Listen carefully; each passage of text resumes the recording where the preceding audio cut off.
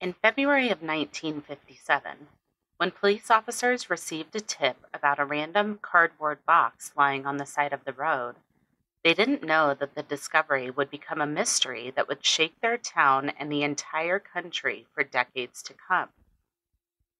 The body of a young boy would be found stuffed inside the box, and his identity would remain a mystery for over 65 years. This is the story of the boy in the box and the murder of Joseph Augustus Zarelli. I'm Ashton, and welcome to the Haunted Corner.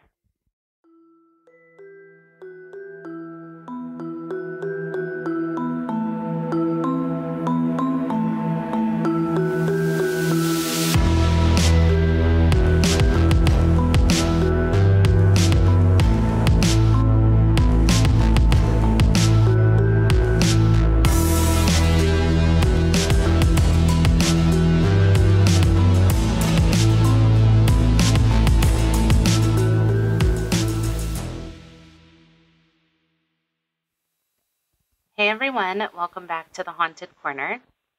Another new week, another true crime unsolved mystery for you all. This is the murder of the boy in the box. This story has always stumped me, and if you've been following the news recently, then you know that this sweet boy was identified in December, and he's no longer known as America's unknown child, as he was so long referred to as.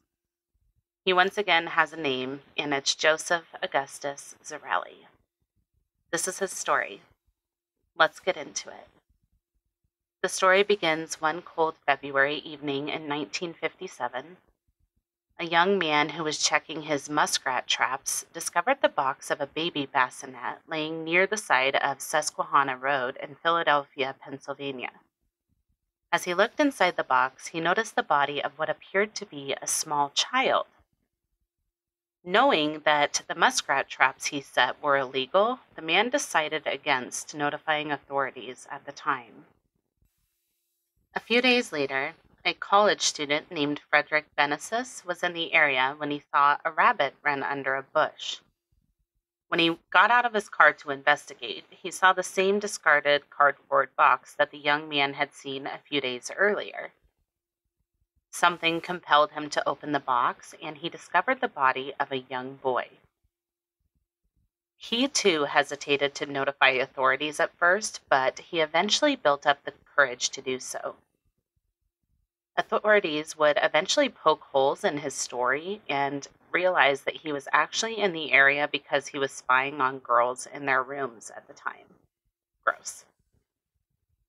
Authorities arrived on scene and found the nude body of a young boy, approximately four to six years old, wrapped inside a blue blanket in the box.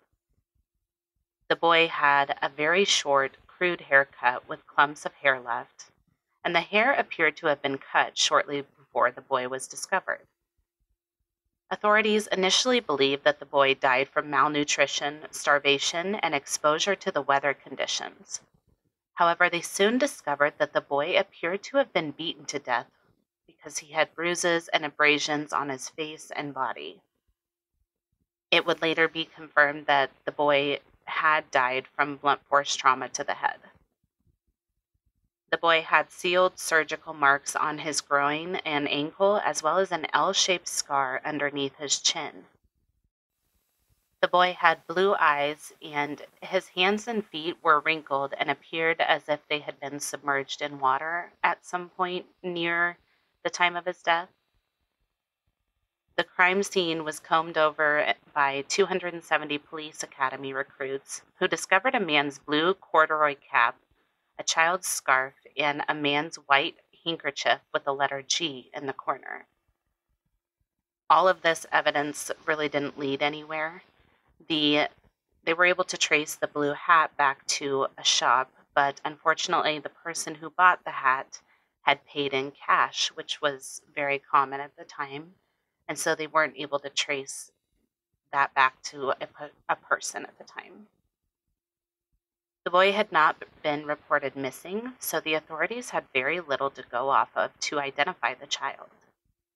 They took the boy's fingerprints in hopes that they could be used to identify him. The Philadelphia Inquirer printed 400,000 flyers depicting the boy's likeness, which were sent out and posted across the area and were included with every gas bill in Philadelphia. The focus turned to the cardboard box that the boy was found in. Investigators determined that the box was for a baby bassinet and was purchased at a J.C. Penney store less than 20 minutes from where the body was found. The shipment of bassinets had been received on November 27, 1956, and sold for around $7.50 between December 3, 1956 and February 16, 1957, from the J.C. Penney store in Upper Darby, Pennsylvania. The store was able to confirm that 12 customers had purchased bassinets, but unfortunately, they all paid in cash, so it made it near impossible for them to trace. The investigation became the search for America's unknown child. A recreation of the boy's face was completed and distributed in hopes that someone would come forward with information about who this boy was. At first, investigators were optimistic that the boy, that the boy would be quickly identified. Someone had to be missing this boy, but who was he? Theories began to swirl. Investigators followed the few leads that they did have. One of the theories that came up was that the boy in the box was the child of a carnival worker named Kenneth Dudley and his wife Irene. According to reports, the couple had 10 children, and in 1961, an investigation was launched into the family when their seven year old daughter turned up dead from malnutrition and neglect. They didn't bury her, but instead they wrapped her in a blanket and placed her in the woods just off Route 1 near Lawrenceville, Virginia. In total, the Dudleys killed seven of their own children but they were eventually ruled out as the parents of the boy who was found in the box. Another theory was that the boy was a foster child who lived in a foster home approximately one and a half miles from where his body was found. In 1960, Remington Bristow, an employee of the medical examiner's office, who pursued the case until his death in 1993, contacted a New Jersey psychic who told him to look for a house that matched the foster home. When the psychic was brought to the Philadelphia Discovery site, she led Bristow directly to the foster home. Upon attending an estate sale at the foster home, Bristow discovered a bassinet similar to the one sold at J.C. Penney. He also discovered blankets hanging on the clothesline that were similar to the one in which the boy's body had been wrapped in when they discovered him. Bristow believed that the boy belonged to the stepdaughter of the man who ran the foster home, and that they disposed of his body so the stepdaughter would not be exposed as an unwed, unwed mother. This theory eventually fell apart. The police were able to confirm that all the foster children were accounted for, and a re examination by police investigation police investigators concluded that family members were likely not involved. The final theory came from a woman named Martha, or M. Martha claimed that she grew up with the boy in the box in her mother's home in Philadelphia. She claimed that one day in 1954, her mother purchased the young boy from a man and brought him to live with the family. She claimed the boy's name was Jonathan, and her mother forced the young boy to sleep in the cold basement. Martha claimed that the boy was murdered by her mother after he vomited on the floor of the basement. She claimed that her mother beat the boy to death and disposed of his body. Despite this shocking claim, there was no evidence of a young boy living in the house during that time. There was no evidence that connected the boy in the box to the family or the house at all, and neighbors disputed Martha's claims.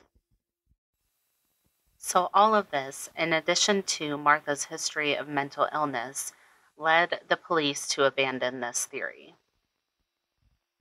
America's unknown child was originally buried in a potter's field. In 1998, he was reburied at Ivy Hill Cemetery in Cedarbrook, Philadelphia, which donated a large plot for the boy. It was during this time that authorities gathered the boy's DNA for hopeful identification using new DNA technology. For a long time, no one knew who this sweet boy was or what really happened to him in 1957. The case went quiet until almost 66 years later after his initial discovery. On December 8, 2022, Philadelphia Police Department Commissioner Danielle Outlaw announced a breakthrough in the case. The boy in the box had finally been identified and given a name Joseph Augustus Zarelli, and he had been identified thanks to genetic genealogy. The boy's DNA was uploaded to genetic databases, which led detectives to relatives on his mother's side. After poring through birth records, they were also able to identify his father. It was then learned that Zarelli's mother had three other children. The investigators found that Joseph Augustus Zarelli was born on January 13, 1953, which meant that he was four years old when his body was found. They explained that numerous questions still remained about his life and death. For now, they're not releasing the names of Zarelli's parents out of respect for his living siblings. They also refused to speculate on who killed Zarelli, but they did say that they have their suspicions. They said, quote, this is still an active homicide investigation, and we still need the public's help in filling in this child's story. This announcement only closes one chapter in this little boy's story while opening up a new one. End quote. And that's a quote from the police commis- commissioner, Danielle Outlaw, there's still so much that we don't know about what really happened to Joseph, but this is a huge step towards finding out who killed him and why. Just this last Friday, January 13th, 2023, on what would have been Joseph's 70th birthday, he was given a new headstone at Ivy Hill Cemetery that includes his name now that he's been finally identified. And hopefully, one day they're able to finish his story and find out what really happened to him in 1957. And that is the story of the boy in the box and the murder of Joseph Augustus Zarelli. Thanks for tuning in today. I hope you enjoyed the episode. The sources for today's episode will be listed in the show notes and also on the blog post for the episode at www.thehauntedcorner.com. Check out the other episodes of The Haunted Corner available now wherever you listen to your favorite podcasts, with new episodes dropping every Monday and Thursday. If you're over on Patreon, you're getting three episodes this week, so stay tuned for that. If you haven't subscribed on Patreon yet, head over to patreon.com forward slash the haunted corner to get access to exclusive content available right now Thursday's episode is available right now on Patreon, as well as the exclusive episode for January. So head over there and subscribe at the $1 per month level on up. If you join at the $5 per month level, you'll have access to an upcoming episode a week early, and you'll get an exclusive The Haunted Corner sticker after donating for three months, plus a lot more. Follow us on social media at The Haunted Corner on Instagram, Facebook, YouTube, and TikTok. If you're enjoying the podcast, be sure to tell a friend. If you have a case suggestion or correction to share, please send it to thehauntedcorner at gmail.com or submit it through the website. Until next time, be kind and take care of yourselves, and we'll see you next time. Bye.